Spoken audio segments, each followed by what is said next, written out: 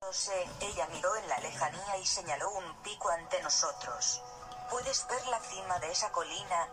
No querrás que le dé con una piedra, ¿verdad? Ella sonrió. No, nada de eso. Solo quiero que vayas hasta arriba del todo y vuelvas aquí en 30 minutos. Miré hacia la cima. 30 minutos. Pero si está corriendo a tope todo el camino de vuelta, dudo que, quiero decir, supongo que podría trabajar con mis creencias, te quedan 29 minutos, dijo ella. Me callé y salí. La carrera fue difícil y dolorosa.